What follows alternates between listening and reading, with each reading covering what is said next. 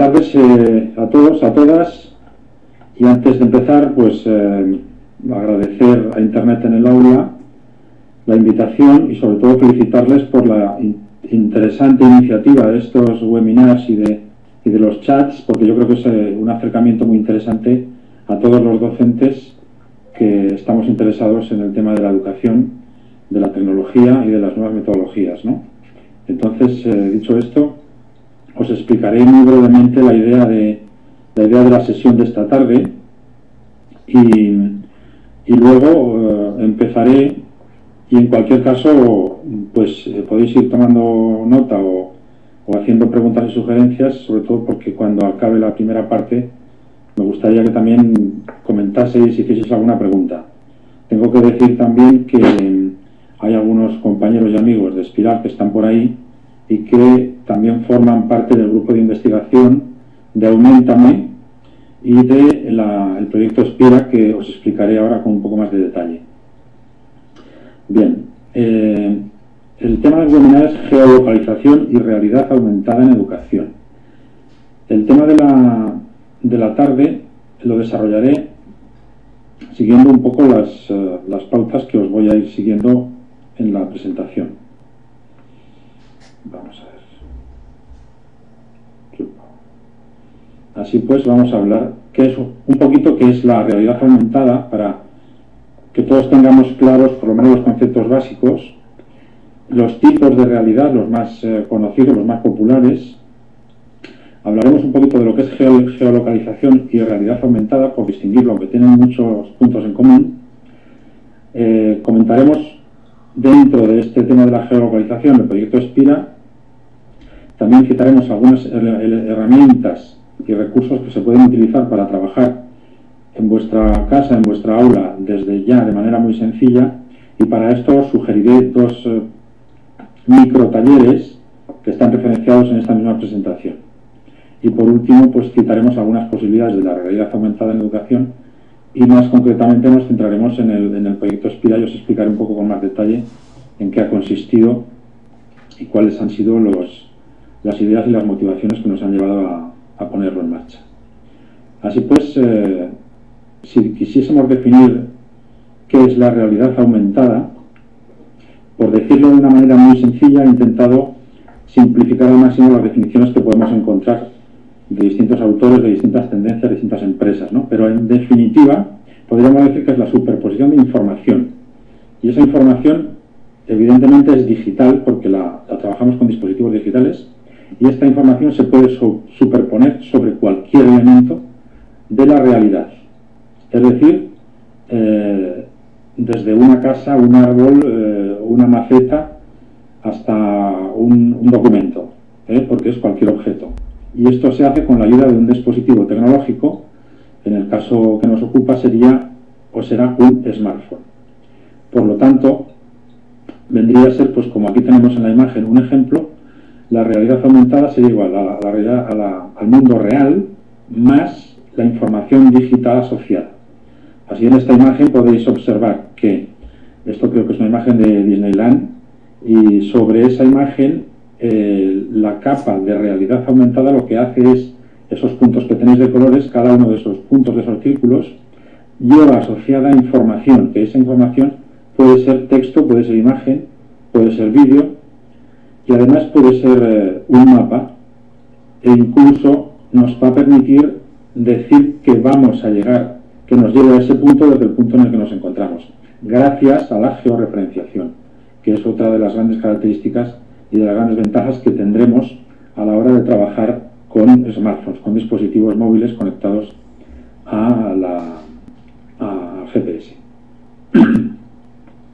Bien, así pues, ¿qué tipos de realidad aumentada tenemos? Pues hay varias, varios tipos y depende de las, ya os decía, pero de las tendencias de los autores, etcétera, etcétera. Pero fundamentalmente podríamos resumirlos en dos tipos, ¿no? Una que sería la basada en marcadores, o imágenes que contienen información asociada a esa imagen y que podremos interpretar gracias a, dispositivos eh, tecnológicos. Y otra que se basa en la posición que ocupan esos objetos en el espacio y que se pueden georreferenciar y por tanto geolocalizar. y gracias a esa geolocalización se les puede asignar una información, que esto es lo que luego veremos que es la el geoetiquetado. Así pues, si pasando de otras consideraciones que las hay y mucho más científicas que luego también os comentaré, al final eh, yo tengo unos apuntes eh, tipo chuleta que he estado mm, recopilando cuando he preparado el webinar que os lo compartiré por si queréis consultar más información. Hay mucha información recogida y entre ellos hablamos de lo que de unas eh, definiciones de la realidad aumentada y nos pueden dar pistas o ideas sobre otras posibilidades y otras tipologías. Entonces, bien, la más eh, sencilla, aún no siendo realidad aumentada propiamente dicha, eh, están los populares códigos QR que estos sí que eh, más o menos todo el mundo creo que conoce o que está empezando a ver por bastantes sitios. Desde un periódico, anuncios, a nivel de marketing, a nivel de, las ciudades para localizar información, de transporte, en museos, en cantidad de sitios vais a aparecer estos simbolitos. Estos simbolitos vendrían a ser la evolución de los que también conocemos como los códigos, ¿cómo se llaman? los de dos dimensiones, los códigos de barras, ¿eh? que se encuentran en los comercios. La evolución natural de los códigos de barra en dos dimensiones se llaman los códigos de barra, los QRs, que son eh, esa evolución natural, y que nos permiten muchas, muchas actividades y mucha interacción, pero tienen mucha más limitación que lo que sería la realidad aumentada, como luego veremos. Así pues, nos centraríamos en la realidad aumentada con marcadores o imágenes, mediante la que a esas marcas o patrones que podemos eh, ver en la imagen eh, de la presentación, se le asocia una información.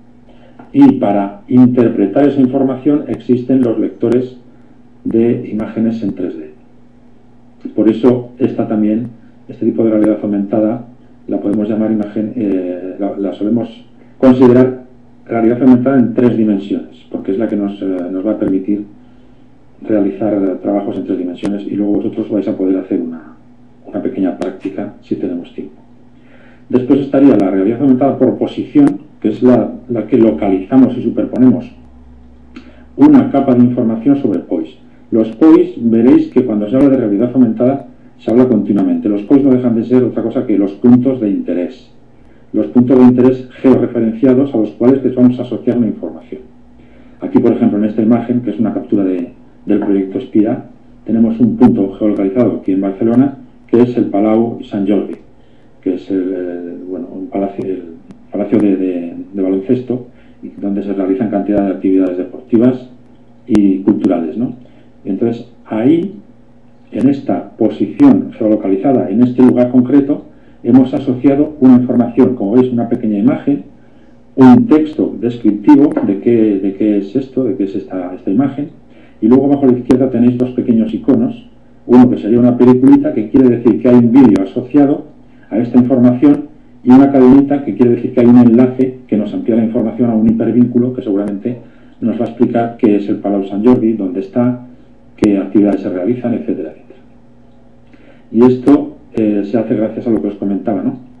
a la geolocalización, que no deja de ser esa representación gráfica y entendible para todo el mundo de la posición geográfica de cualquier cosa. Eh, Esto que comentábamos de una persona, una casa, una lámpara, un vídeo, una imagen, cualquier cosa la podemos geolocalizar. Así pues, la geolocalización y la realidad aumentada Em, contendría dos aspectos que la hacen posible, que son la georreferenciación, es decir, una serie de coordenadas que nos localizan los puntos, los puntos de información en un mapa, y luego la posibilidad del geoetiquetado, o sea, añadir una etiqueta con información asociada que explica, que complementa lo que vemos en la realidad. De ahí que se llame realidad aumentada y un poco la diferencia con la, con la llamada realidad virtual. La realidad virtual eh, sería aquello que simula la realidad. Sin embargo, la realidad aumentada lo que hace es completar la, realidad, ¿eh? Mm, darle mayor relevancia. Bien, así pues, esto que os comentaba antes de las herramientas, herramientas hay un montón, o sea, son interminables. Yo aquí os he puesto simplemente a modo de, para que luego os pique la curiosidad y podáis investigar, aunque en esa chuleta que os he dicho que os compartiré, vais a encontrar más información eh, resumida sobre qué es cada una de ellas. Todos los de la parte superior son herramientas que permiten georreferenciar POIs, puntos, puntos de interés. Las de abajo tenemos las dos primeras, Edflar y Zoobast, que lo que hacen es mm, generar esas imágenes en tres dimensiones que seguramente habéis visto en muchos vídeos y que permiten, gracias a los marcadores, eh, ahora te explico lo que es una chuleta, ¿eh? Muy bueno, Gascón, gracias. Mm, perdonad, eh, el EdFlar os decía que genera un código QR, perdón, un código, un código, un marcador. Y ese marcador tiene asociada la información que podemos ver en tres dimensiones, si está hecha en tres dimensiones, pero si es una imagen normal y corriente, es una imagen que se mueve arriba abajo, izquierda y derecha y nada más, pero se, se mueve. Zobus nos permite crear un libro interactivo a través de unas plantillas que tiene y sobre todo para jugar, para iniciarnos en la realidad aumentada con, con alumnos, con niños, es muy interesante porque, porque también lo veréis que con un poco, con muy poco conocimiento y muy poco esfuerzo dan unos resultados muy, muy vistosos y que a, los chavales, a los niños, a los niños y a las niñas les gustan mucho y les resultan muy atractivos. Y las dos últimas eh, aplicaciones que aparecen, Laia y Junayo, son dos navegadores, igual que en, la web necesitamos navegadores eh, como Chrome o Firefox o Explorer, para, para eh, descubrir la realidad aumentada, claro, necesitamos navegadores especiales. Todos los superiores también lo son, porque claro, para leer los puntos necesitamos interpretarlos gracias a ese, a ese software. Pero en concreto estos dos últimos son los que probablemente sean más, eh, estén más reconocidos y tengan más, más aplicaciones. Y concretamente con Layer es con el que nosotros hemos eh, desarrollado o estamos empezando a desarrollar, hemos hecho la fase cero, digamos, de nuestro proyecto Espira, que luego os comento. Y Junayo viene a ser algo parecido, pero todos los dos tienen multitud de capas asociadas con informaciones diversas de cualquier tipología. Esto también podéis ver ejemplos cuando, cuando os pase esta información, estos enlaces, porque yo creo que os resultará mucho más gráfico si lo veis que esta pequeña explicación que os puedo ir dando así un poco de prisa. Entonces, yo os propongo, no ahora porque no vamos a tener tiempo, pero si luego tenemos un rato y si no, como esto queda ahí, lo tenéis disponible, este taller 1 os, propongo utilizar eh, Wikitooth, que es una aplicación muy sencilla para crear eh, realidad aumentada geolocalizada. En este enlace que os propongo hay uno de los tutoriales que tenemos en Aumentame, el portal de la realidad aumentada en educación de espiral, que también está referenciado. Eh, tenéis una serie de tutoriales, como os decía, realizados por Raúl Reynoso, que forma parte del equipo y de hecho es el alma mater del grupo de investigación, y que eh, está muy paso muy pautado, si algunos ya lo vais viendo lo, vais a ver, está muy, muy, pautado cómo crear una, un POI con Wikitooth. Esto por lo que hace referencia a una pequeña práctica con realidad aumentada geolocalizada. Pero también os propongo otro, otra práctica, otro tallercito con este EdFlag que os comentaba, que es muy básico para crear realidad aumentada con marcadores. Esto es simplemente entrar en la web y en tres pasos simplemente generas e imprimes ese marcador al que hacíamos referencia antes y después con la cámara web pones el marcador para que la cámara web lo interprete y automáticamente aparece la imagen en tiempo real. Esto también es muy efectista y gusta mucho y además, eh, aparte de la parte lúdica, pues eh, es muy interesante para desarrollar la creatividad de, los chavales, de los alumnos. Bien, entonces, eh, digamos, bueno, eso está muy bien, pero la realidad aumentada en educación, mm, ¿para qué? Porque claro, aquí tenemos un problema fundamental, que es que la... Claro, necesitamos un dispositivo, ¿no? Este dispositivo es un smartphone. Si ya en los colegios mayoritariamente tenemos prohibido el uso de los móviles, pues evidentemente los smartphones no dejan de ser móviles, por lo tanto es difícil que esto hoy por hoy pueda generalizarse. Ahora bien, si yo, creo, yo creo que en un centro, eh, si se puede hacer un planteamiento, aunque sea a nivel experimental, de realizar, como nosotros hemos hecho con el, con el proyecto Spira, una experiencia, esto nos va a permitir el, el ejercicio o el taller o la práctica o el participar en, en un proyecto como podría ser Spira nos puede abrir las puertas a cantidad de posibilidades y de experiencias que ya hay centros que están desarrollando. Por lo menos eh, sí que sabemos que hay bastantes centros que están trabajando con códigos QR. De, códigos QR sabéis que hubo hace un, creo que fue una semana o dos, un webinar también que aquí en internet en el aula, que lo tenéis ahí colgado, de José Luis Gamboa, que, que os da muchas pistas y muchas ideas también. Pero si la realidad aumentada entra a través de los códigos QR, bienvenida sea, porque nos va a permitir hacer muchas cosas. Aquí yo os he citado algunos ejemplos, como puede ser formación en destrezas. Entonces, esto, por ejemplo, en, la formación profesional es una cosa fantástica, porque imaginaos, eh, como en uno de los ejemplos que os comento, podéis ver a un mecánico que se pone unas gafas de realidad aumentada que lo que hacen es eliminarnos el, interfaz que necesitamos del ordenador, nos lo ponen las gafas, como sabéis que Google ahora va a sacar unas gafas de realidad aumentada. ¿no?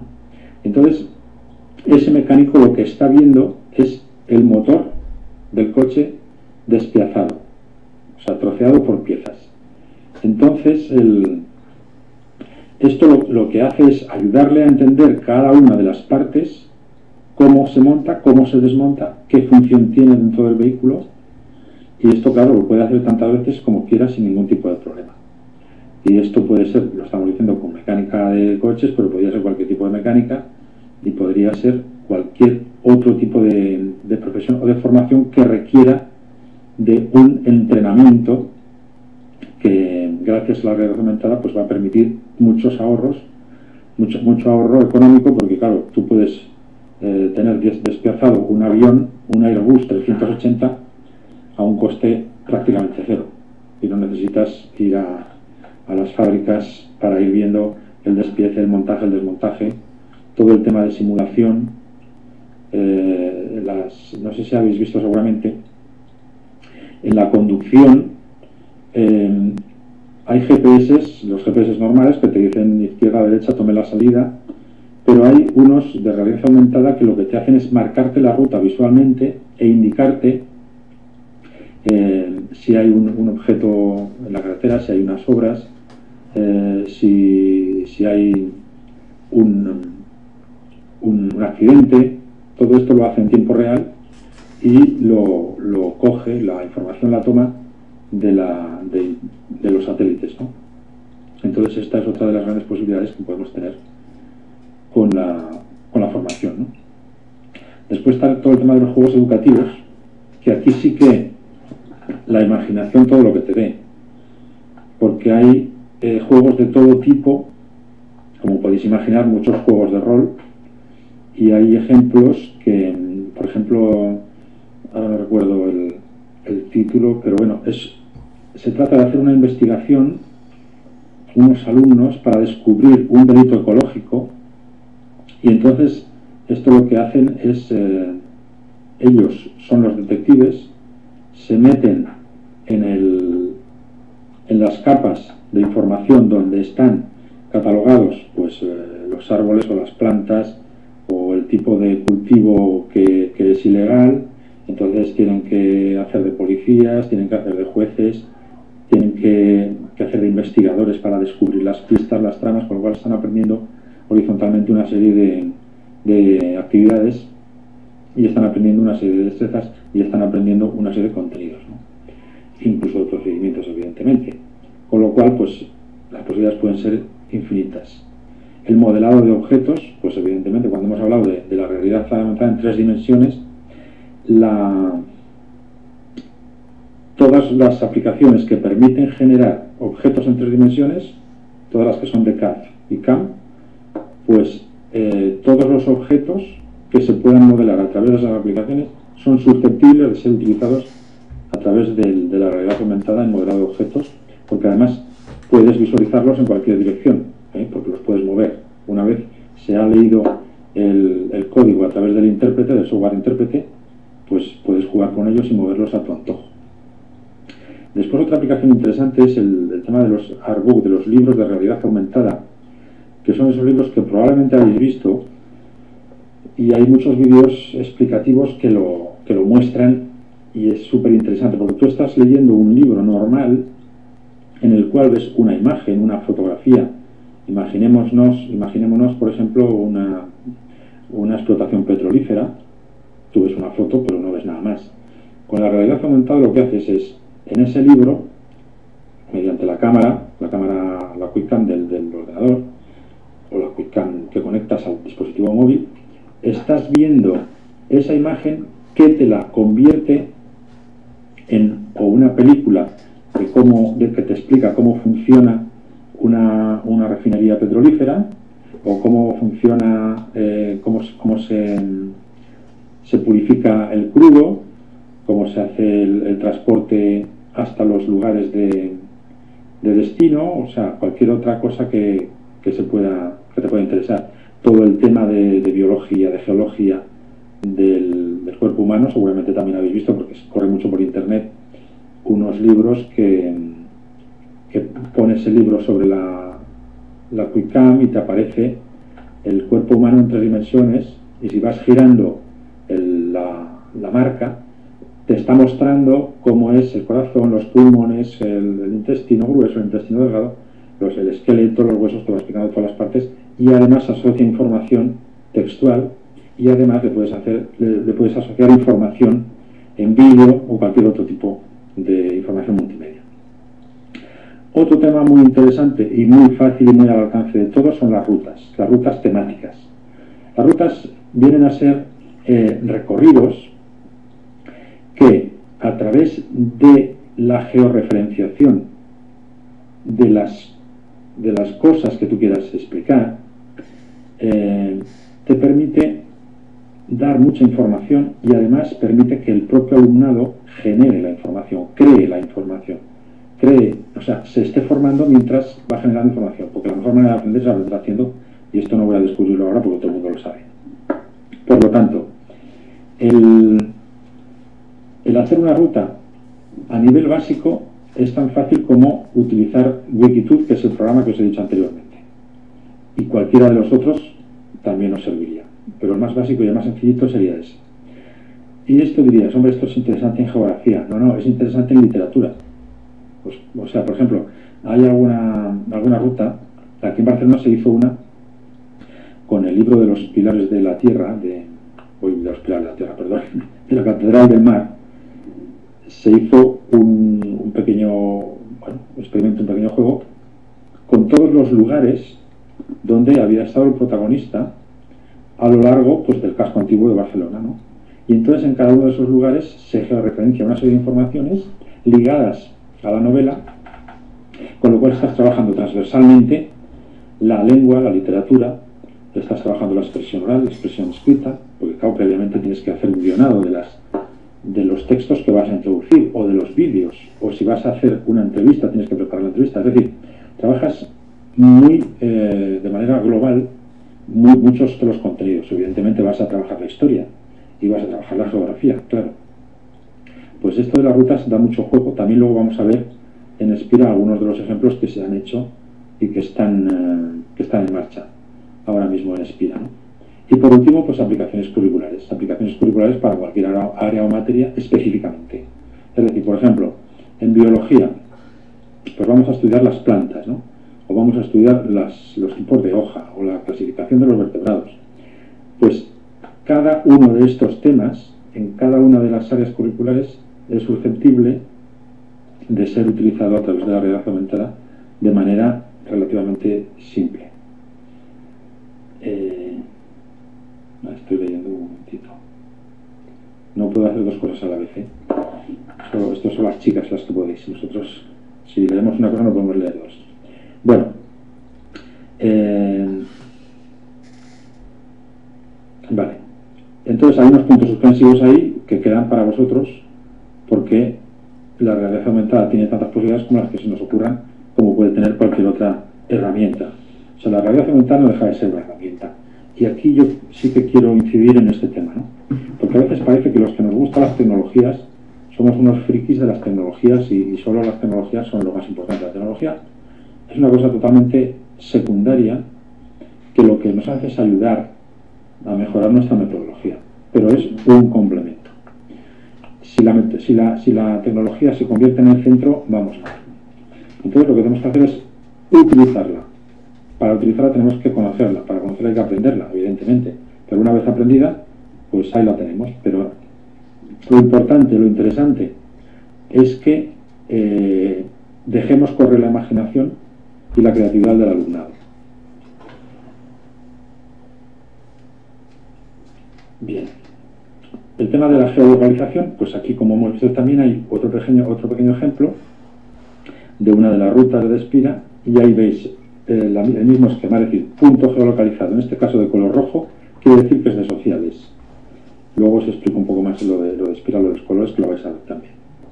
Entonces aquí fijaos la cantidad de información que ha, que ha asociado el alumno que ha introducido. Aquí tienen un podcast, un podcast que probablemente explique la historia del castillo y que para hacer este podcast ese alumno o ese grupo de alumnos ha hecho un guion. Para hacer el guion se ha tenido que documentar sobre la historia del castillo.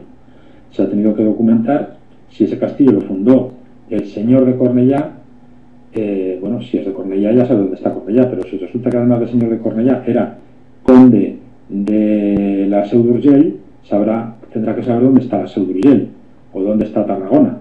Entonces, gracias a eso se va a documentar y va a aprender historia. Eh, bueno, esto en cuanto al podcast. Después hay una pequeña imagen que, nos dice que es un audio, perdón, un vídeo. Después hay una imagen, después hay un enlace.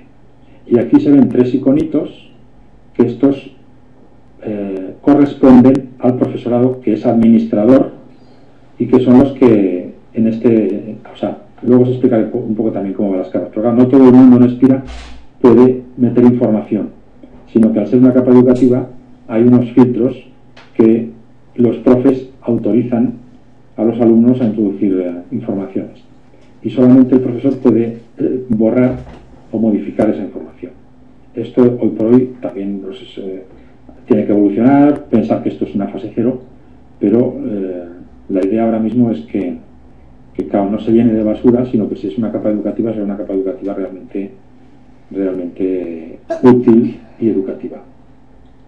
Bueno, eso es, eso es la geolocalización. Y la realidad aumentada, aquí tenéis otra vista de una imagen, es una imagen real, ¿eh? de, de, de concretamente, y ahí se ve un poquito, al fondo hay una imagen, arriba a la derecha hay un punto negro en una especie de, de escáner, de, de, radar, que nos localiza los puntos que hay alrededor en un radio determinado. Este radio se puede determinar en la propia aplicación tanto en Laia como en cualquier otra. Casi todas las aplicaciones de realidad aumentada, como tienen un radar, permite que tú definas hasta qué distancia quieres que te encuentre POIS, que te encuentre puntos de interés. ¿no? Entonces aquí pues ha encontrado un conjunto de seis casas en Molins de Rey, dentro de uno de los proyectos que luego veis eh, rápidamente, que es una ruta modernista. Entonces, abajo hay una área de detalle donde picas y te amplía, la información de, de ese conjunto de casas. Debajo te dice cómo llegar, como te estás geoposicionando, tú dices, hombre, tengo mucho interés en ir ahí, o no tengo interés, simplemente el profe, a mi equipo, nos ha mandado a que vayamos a estas casas modernistas, que hagamos unas fotos y que tomemos unas notas o hagamos un boceto o lo que fuera. Entonces le dices cómo llegar y el mismo programa te va a, a trazar la ruta para llevarte hasta allá. Entonces esto por lo que hace a la, realidad aumentada. Evidentemente, esto lo estamos trabajando eh, fuera de clase, hasta ahora. Pero claro, ahora lo vamos a trabajar en clase. ¿Por qué no? Es lo que os decía antes. Normalmente, eh, la tendencia es esta, ¿no? Prohibir el uso de los móviles en el aula. Pero cuando nos demos cuenta de que tiene muchas posibilidades, que es muy interesante, pues a lo mejor empezamos por dejarles un ratito o por dejarles que para el trabajo específico que hemos eh, encargado a los alumnos sobre em, pues cómo hacer, imaginaos, utilización del teorema de Pitágoras en la vida real. Pues es un tema de matemáticas. ¿Qué tiene que ver con la geolocalización? Pues tiene que ver mucho porque nosotros podríamos enviar a un grupo de alumnos o a varios grupos de alumnos a medir la altura de una torre de la iglesia del pueblo, o la, casa más alta del pueblo, o el pino más grande del pueblo, o del barrio, o de la ciudad, ¿no? Entonces utilizarán Pitágoras. Evidentemente no necesitan realidad aumentada para utilizar, para hacer estos cálculos. Pero si nosotros georreferenciamos, geolocalizamos y utilizamos una aplicación de realidad aumentada, podremos asociar mucha información y además lo que podemos hacer es pedir a los alumnos que nos, eh, que nos resuelvan un problema, que nos resuelvan un problema real y que eh, nos den la solución y que la compartan, con lo cual estamos utilizando un poco esta filosofía 2.0 ¿no? del compartir, del aprender haciendo y de eh, trabajar en equipo. Esto por lo que hace referencia a clase. Fuera de clase, evidentemente, decíamos salir a medir un, un pino, a medir una torre o lo que fuera. Entonces, ahora sí que os vamos a, os voy a explicar un poquito esto de Spira, que, en qué ha consistido, ¿no? En qué, o qué es lo que hemos pretendido hacer. Eh, Spira ha sido un proyecto que nació como una inquietud que teníamos al darnos cuenta de que realidad aumentada cada vez se oye más y se ven más aplicaciones por la calle. Y ahora, por ejemplo, aquí en Barcelona sabéis que ha habido el Congreso de Telefonía Mundial, el teléfono de Telefonía Móvil Mundial, que tiene un impacto impresionante y vienen muchas ciudades y muchas cosas. ¿no? Pues cantidad de proyectos, cantidad de aplicaciones, eh, ahora no tengo cifras porque soy malísimo ¿no? para las cifras, pero eh, en este congreso se presentan tanto novedades de, hardware como novedades de software, de apps, aplicaciones. De las aplicaciones que se presentaban, no sé, igual exagero, pero os diría que un 80% eran de realidad eh, aumentada o relacionados de, de geoposicionamiento, de geolocalización y muchos apps para teléfonos móviles que también utilizan la, la geolocalización. Por lo tanto, es una gran tendencia que no podemos ignorar. Por otra parte, nos damos cuenta que el mercado, el mercado de telefonía, a pesar de la crisis, en el último trimestre del año 2011, uno de cada tres teléfonos que se han vendido ha sido un smartphone. Quiero decir esto que el, montante, el, parque móvil de teléfonos smartphone que hay en España es altísimo. Incluso la media europea me parece que era, recordar en el informe de la Fundación Telefónica de este año, me parece recordar que era un, 11%, un, 11 en Europa y en España es un 20%. Esto por otra parte. Y luego, eh, y por último, esto que os decía, las aplicaciones que existen mayoritariamente son pues de marketing, de vender productos, el coche, eh, evidentemente los coches tienen muchas, muchas posibilidades también con la realidad aumentada, temas de marketing para vender moda, para a las administraciones, para el tema de localización de, transporte, tú estás en una parada o, estás en una ciudad que no conoces de nada y claro, ves allá un, edificio y no sabes qué es. Pues muchas de las capas que ya se están creando, tú puedes eh, abrir la capa de realidad aumentada, enfocar el móvil a ese edificio y te dirá, este edificio es el ayuntamiento de Sevilla y este edificio se construyó en tal época, horario de apertura tal y tal y tal. Incluso muchas de estas aplicaciones te permiten llamar por teléfono. Hay un botoncito que dices llamar y llama automáticamente te está llamando por teléfono. Esto algunas de las aplicaciones que tenéis ahí que os he explicado ya lo tienen incorporado. O sea, tú no tienes que hacer nada. Cuando geolocalizas, ya cuando le pones el teléfono ya lo toma. Y no tú, sino otra gente que geoposiciona, que geoposiciona puntos, ¿no? Entonces, bueno, pues esto es muy interesante porque, porque tiene mucho potencial, mm, innegablemente, sin necesidad de que seamos eh, grandes gurús del futuro, ¿no? Entonces, hay un tema que nosotros nos dimos cuenta que a dónde quería llegar, que sí, que hay muchas aplicaciones de todo, pero en educación no había nada, no hay nada, no, no. Hacemos pequeñas cositas, con los códigos QR se ha empezado a, dinamizar el tema, incluso se está empezando a geoposicionar en Google Maps, se pueden geoposicionar puntos, y de hecho, pues es una manera de, de empezar también a familiarizarse con la georreferenciación. Pero a nosotros, al darnos cuenta nosotros de que no había nada, dijimos, hombre, vamos a, ¿por qué no planteamos hacer algo ¿no? y hacer un experimento? Y entonces esto, bueno, con la Fundación, con la fundación Telefónica, pues conseguimos eh, animarles para que nos apoyaran el proyecto y de ahí nació Espira. y Espira pretende ser un proyecto que llamamos IAP, es decir, investigación, acción y participación. Porque lo que nos interesa, evidentemente, es investigar. Investigar para conocer la realidad. La realidad, en este caso, de la realidad aumentada, nunca mejor dicho, ¿no? Valga la redundancia. Y, esa realidad hoy por hoy es que hay un hecho que la telefonía móvil es impresionante la cantidad. Ahora estaba leyendo por ahí, 28 millones de celulares se leído en Venezuela. Perdonad porque ya os digo que me estoy perdiendo cantidad de, información que vosotros estáis dando, menos mal que esto queda guardado. No lo veo.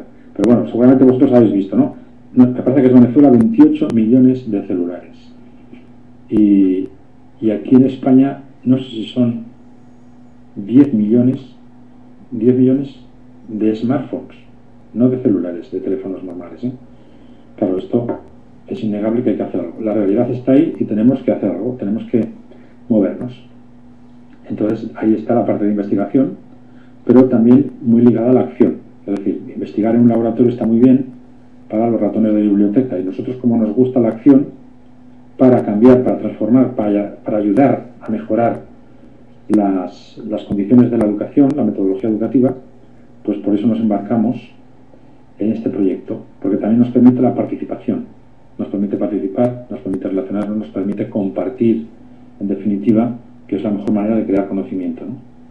Siempre que hablamos de inteligencia colectiva, a veces eh, parece que estos términos son, bueno, pues está de moda, ¿no? Esto de la inteligencia colectiva, pero bueno, la inteligencia colectiva hay que practicarla. También. ¿Y cómo se practica? Pues participando, relacionándose y compartiendo. Y evidentemente más ven cuatro ojos que dos, esto ha sido así siempre y así será. Por lo tanto, pues un poco nuestra idea era esta de, querer participar. Por tanto, Espira se plantea convertirse en un proyecto en el que la realidad aumentada sea fácil y esté al alcance del profesorado y, evidentemente, del alumnado. Es decir, eh, es lo que podríamos llamar la realidad aumentada 2.0, muy ligada a todo lo que estamos comentando. Vamos a ver ahora cómo es Espira. ¿Qué es lo que se ve en Espira? Pues Espira tiene dos partes. Una parte que es la, parte web, digamos, porque la información hay que introducirla en algún sitio.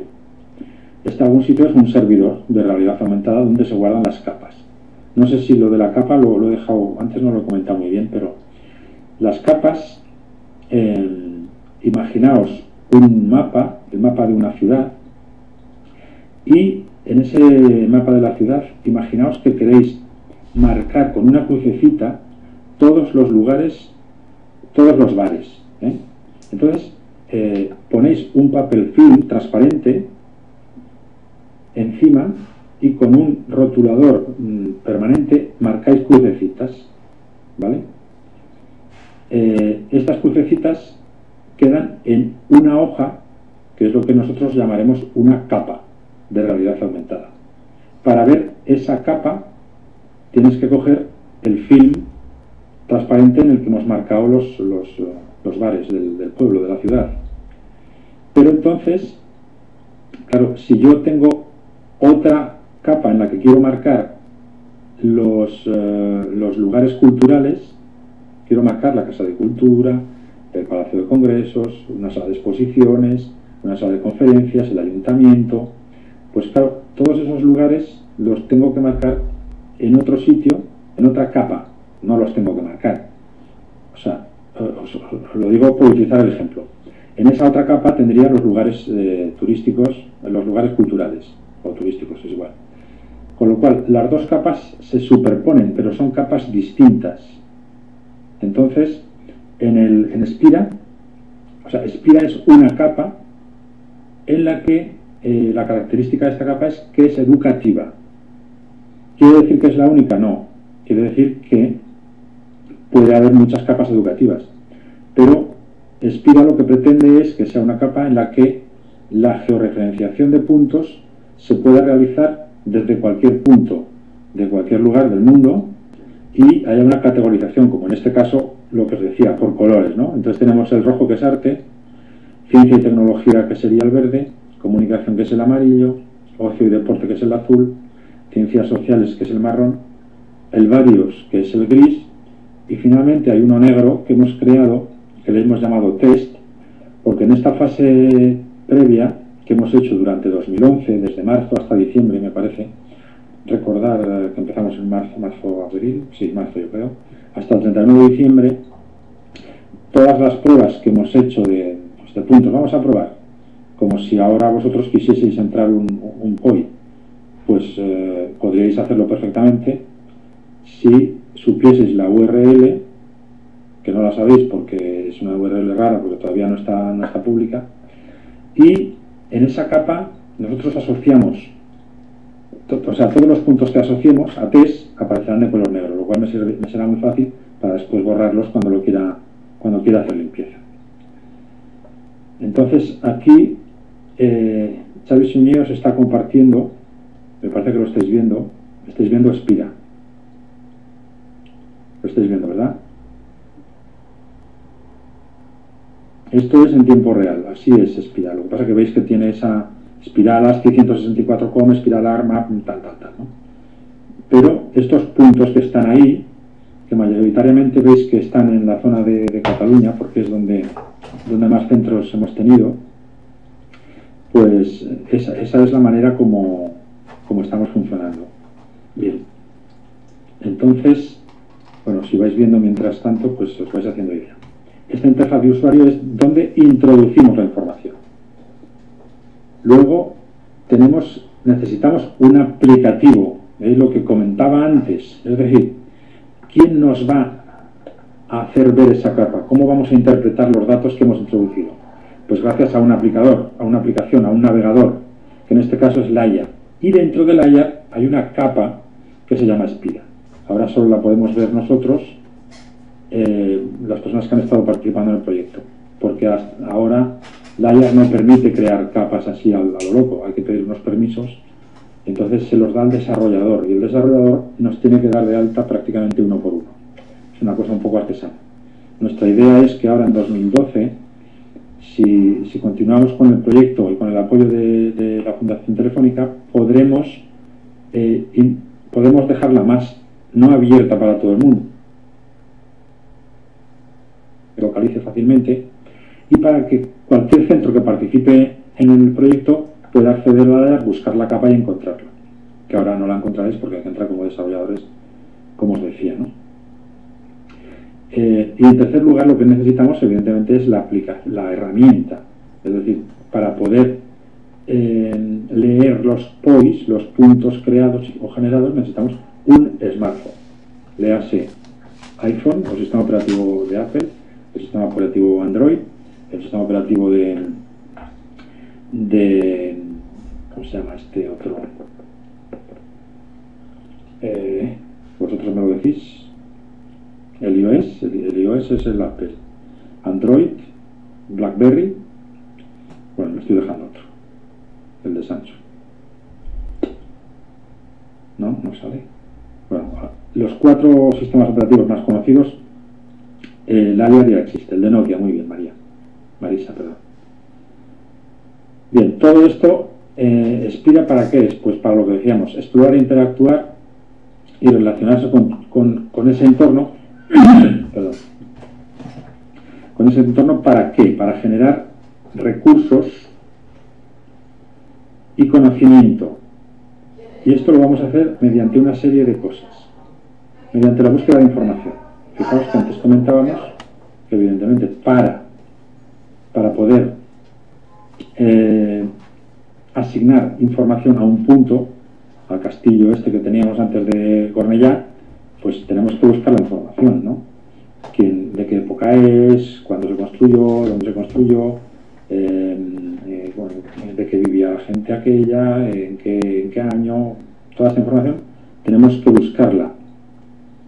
Y toda esta información nos va a servir para colgarla en Internet. En segundo lugar, también otra de las posibilidades educativas que nos va a dar es realizar entrevistas, entrevistas en vivo y en directo. Por lo tanto, vamos a estar trabajando también el tema del podcast. Y volvemos al tema del lenguaje con el guionado que decíamos antes. Esto, las entrevistas, claro, nos van a permitir generar y editar vídeo y nos van a permitir generar y editar audio. Porque podemos hacer, eh, las entrevistas podemos hacer solo de audio, pero también las podemos hacer solamente o además de vídeo. Y aquí estamos trabajando más competencias con nuestro alumnado. ¿no? Y evidentemente también, como decíamos antes, puede haber imágenes, puede haber fotografías. Todas estas, todas estas, uh, estos elementos son los que vamos a poder introducir. Y estos elementos luego tienen que tener una salida que es la salida a la consulta, es la consulta de información. Y la consulta de información la hacemos a través de ese smartphone y con el, con el con. Vamos a ver ahora algunos de los proyectos reales que se han realizado con Espira. En Espira eh, han participado, hablo de memoria, pero quiero recordar que son 29 profesores. De estos 29 profesores han pertenecido a nueve centros educativos distintos. Mayoritariamente, ya os digo, son de aquí de Cataluña y uno argentino. Y luego también eh, Cantabria, y no sé si me dejo pues, Murcia o bueno, mayoritariamente Cataluña y luego otros dos o tres. Eh, de estos 29 profesores, prácticamente activos ha habido unos 20, 19, 20. Activos quiero decir más activos, que se han implicado, que han tenido tiempo, que han tenido ganas y que se han, y que se han metido a trabajar a fondo con el tema. Y de, y de todos ellos, de estos nueve centros, han salido nueve proyectos, de los cuales os hago una, una muestra rapidita ahora mismo.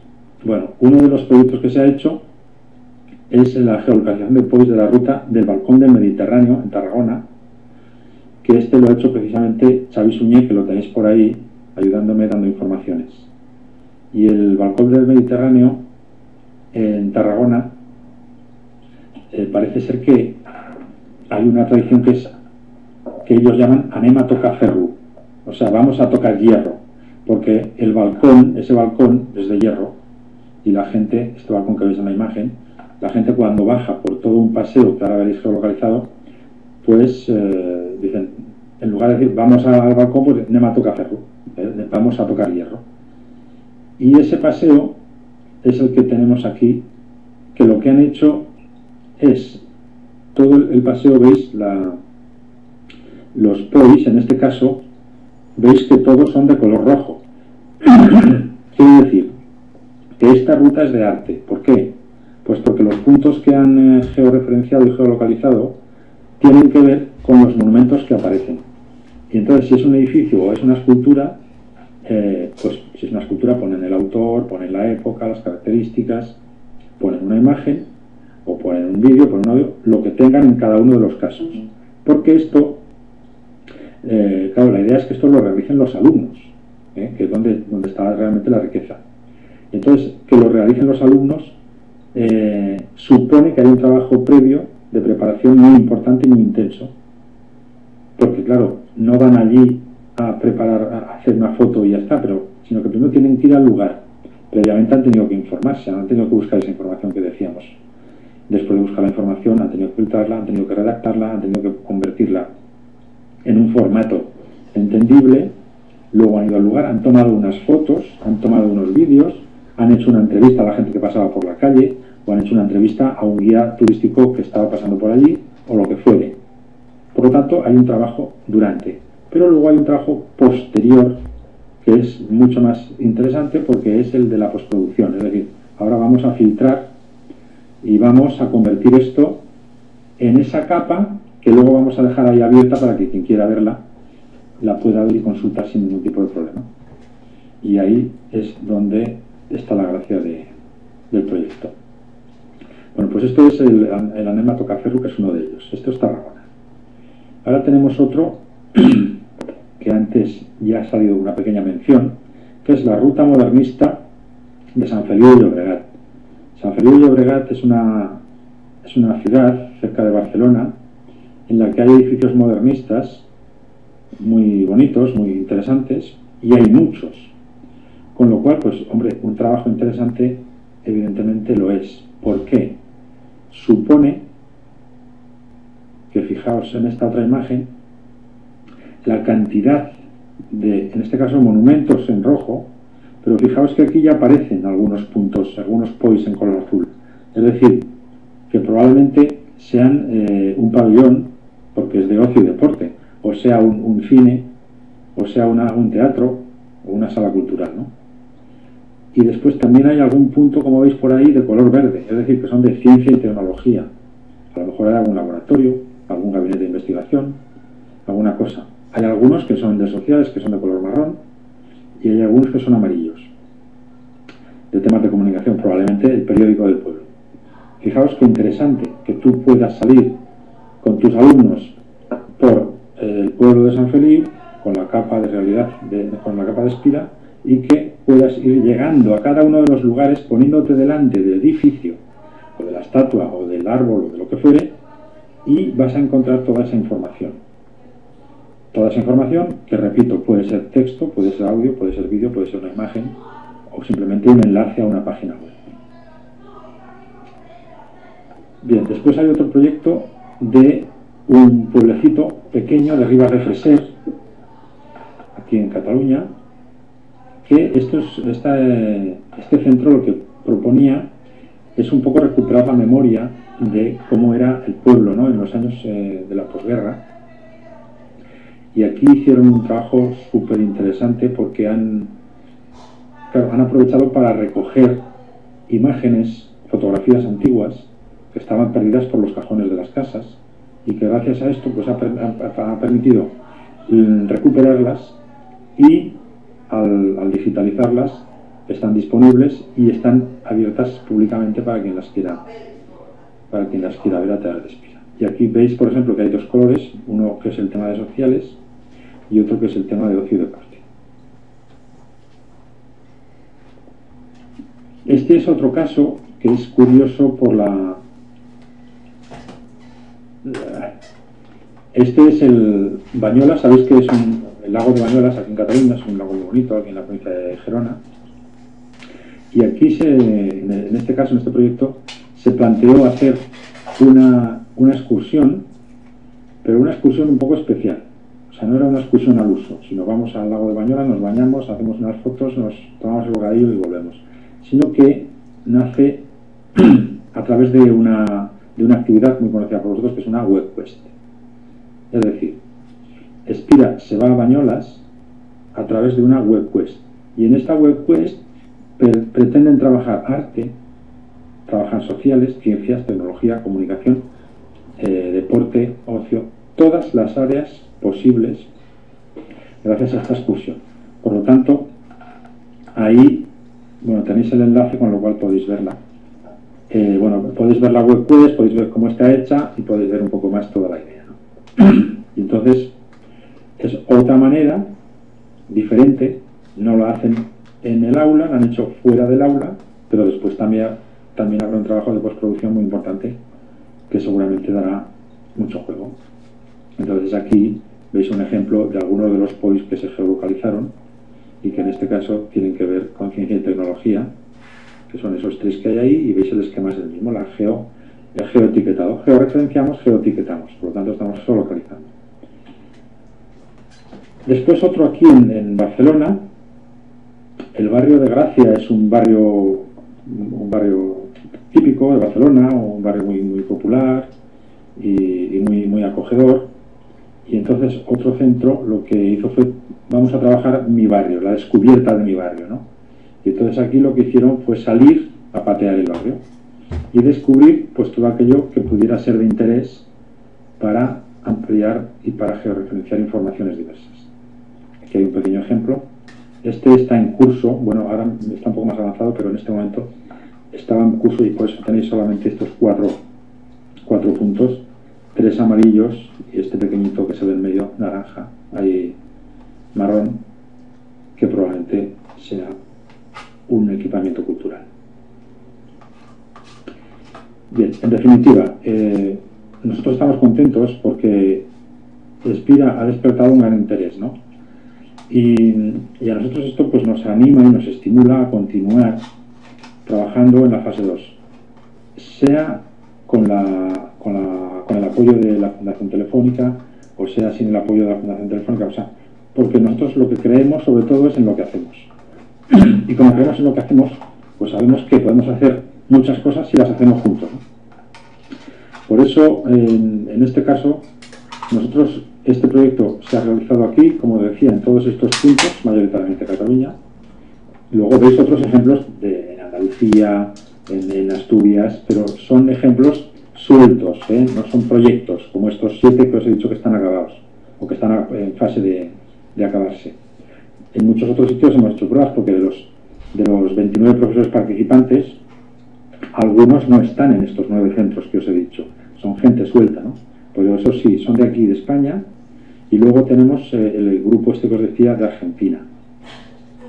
Pero después también, eh, como, el curso, como el curso pasado el proyecto era alfa, era muy cerrado, solamente para estas 29 personas que participaron, claro, la gente que iba conociéndolo o alguna presentación que hicimos del proyecto, mucha gente se interesó.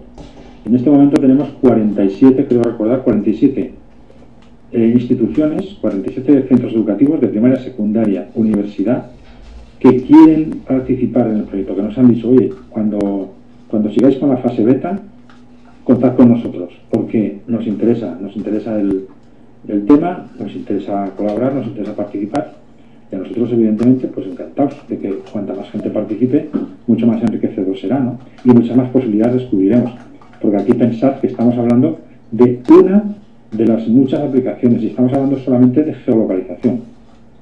Y estamos hablando solamente de Laia, que es uno de esos aplicativos. Pero con los otros aplicativos que hay y otros que funcionan directamente sobre el móvil se pueden hacer muchísimas cosas. Y en este sentido tenemos algún otro proyecto que ahora está muy, está muy verde para, explicaros, pero que os iremos en la, en la web iremos dando información y la gente que pueda tener interés eh, podemos mantenernos en contacto porque sabéis que en Espiral estamos abiertos a la comunicación de lo que queráis y hacemos multitud de jornadas y de cosas con las que estéis invitados. Pero, pero que sepáis que, bueno, que es un proyecto abierto y que igual que hemos tenido gente de aquí y que hemos tenido gente de, acá, de allá de, Argentina, eh, oye, contigo quieres que contemos, pues nosotros estaremos encantados y nos encantaría contar contigo y estamos abiertos. Por eso, si os animáis, si te animas, os hago una información, no es primicia porque lo hemos eh, publicado en, nuestro portal muy, muy someramente, no está, no está todavía publicitado, no lo sabe prácticamente nadie, pero tenemos prevista una jornada exclusivamente monográfica sobre realidad aumentada en educación. La primera jornada, Aumentame, que la vamos a hacer el día 28 de abril en Tarragona en la Universidad Rovira y Virgili. Estas jornadas, bueno, como todos, todas las jornadas que hacemos en Espiral, ya lo sabéis, son gratuitas. Como el, software que utilizamos, como Layar es gratuito, eh, o sea, es que supongo que ya lo sabéis, pero bueno, igual que Internet en el aula, a nadie le cuesta nada asistir a, esta, este webinar o a cualquier a cualquier eh, otro encuentro, otro chat, pues en Espiral un poco hacemos también lo mismo. Es decir, nosotros lo que nos interesa es difundir la educación, la metodología y la tecnología como ayudante de esas nuevas metodologías. ¿no? Eh, bueno, me parece que me estoy yendo, pero a lo que iba, la realidad, la jornada, la primera jornada Aumentame de realidad aumentada que vamos a hacer aquí en Tarragona el 28 de abril y que promete ser muy interesante, no solo por lo que vamos a, tener, las experiencias que nos van a explicar y a, los proyectos que están en marcha, sino también porque va a haber sorpresas. Y sorpresas que, vamos a, que vais a poder descubrir si venís con un smartphone. Si no venís con un smartphone, os vais a quedar a dos velas. Por eso os quiero animar a que, a que os paséis por, por Tarragona y a que sigáis un poco el tema. Lo vamos, ya os digo, a publicitar en cuanto esté un poquito más avanzado, que estamos trabajando en ello desde hace ya algún tiempo. Y, y bueno, pues ahí lo, ahí lo dejo. Esa invitación queda abierta y nada, pues muchas gracias por estar ahí, gracias por seguirnos. Y en todo caso, como ahora tenemos, hemos cumplido la hora bastante bien, yo creo que me he portado, pues eh, si queréis que comentemos algo o si queréis eh, que os aclare alguna duda, queréis hacer alguna propuesta, estoy aquí para lo que haga falta. Gracias a vosotros por la paciencia a nivel universitario sí también hay gente que está interesada y que quieren participar. Entre ellos, su, a Jordi Adey, supongo que le conocéis. Pues Jordi va a ser uno de los que van a participar en las jornadas de Tarragona, pero además también va a estar participando en el proyecto Espira. Si quieres geolocalizar árboles de tu ciudad, perdona, pero no me da tiempo a leerlo todo. ¿eh? eh Wikitube, cualquiera de estas aplicaciones que os he comentado, hay una, no sé si lo ha compartido Xavi, pero os voy a compartir los tutoriales que tenemos. A ver si los encuentro y os los pongo. Aquí tenéis los aumentables que os comentaba antes. Ahí tenéis una serie de tutoriales para trabajar cualquiera de las cosas. Wikitube puede ser una, buena manera de empezar.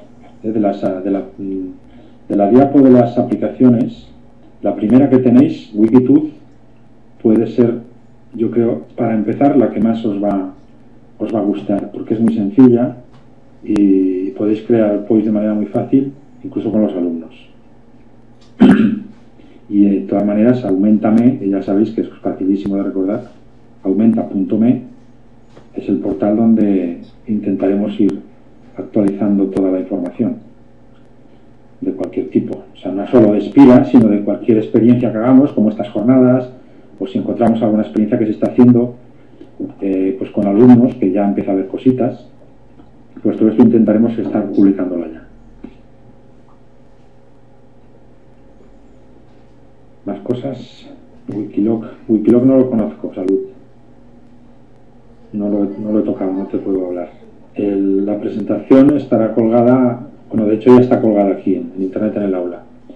Y el, y el vídeo queda grabado y luego lo dejan también, o sea que lo podéis ver luego a posteriori. La participación en el proyecto Espira ha sido a nivel, en algunos casos el claustro estaba implicado y en otros casos eran los profes que habían manifestado interés y que se habían y que han estado trabajando. Bueno, ya os dejo, ya sabéis mi, nombre de en Twitter soy Mude Jalisco, si queréis contactarme. Y si queréis os dejo mi correo también, no tengo ningún inconveniente. Si alguien me quiere comentar algo, alguien se anima a participar en el proyecto o lo que queráis, ahí tenéis mi correo, juanmiquiverespiral.org, fácil también.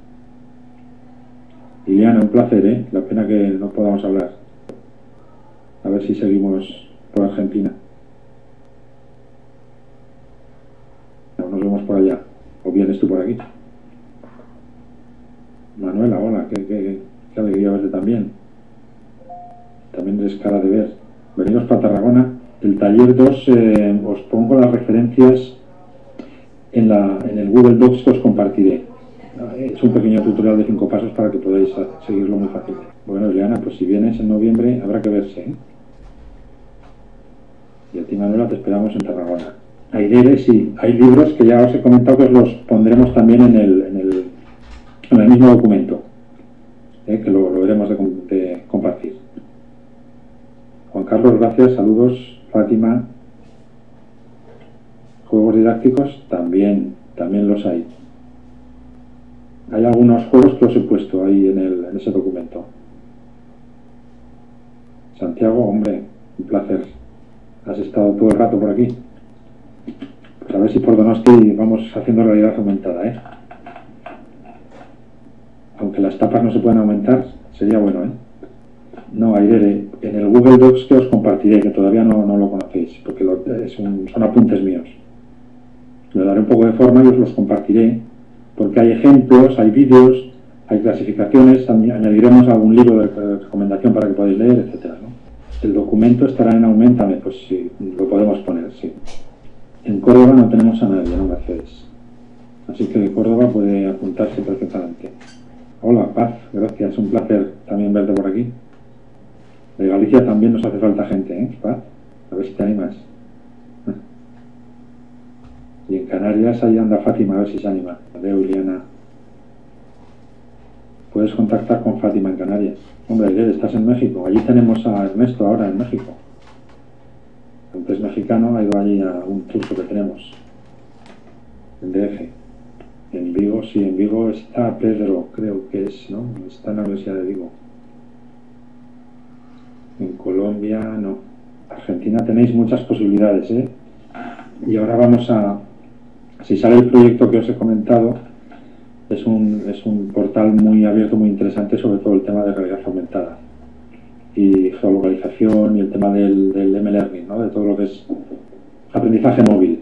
¿eh? Ya os adelanto un poquito la idea, pero tendrá mucha relación con, con, todo lo que es la realidad aumentada y la geolocalización. Y en Menorca también hay que hacer lo que haga falta, aunque sea sin acabarlo. ¿eh? Ángela. Constantino, Colombia, fuerte ahí, ¿eh? Colombia tenemos buenos amigos, que además están en Brasil.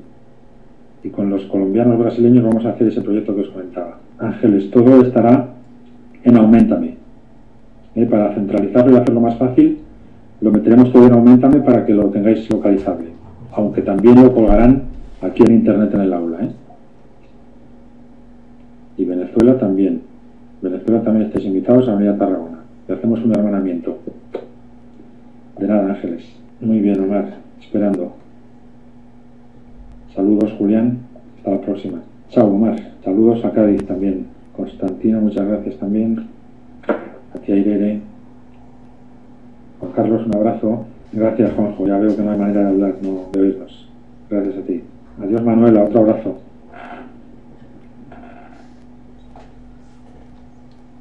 Ahí, ahí, para los salarios iría bien, realidad aumentada. Podemos experimentar a ver qué pasa. Nunca se sabe. Gracias Silvia también a ti. Marisa, pues eso que explicas, nos lo puedes explicar en Tarragona.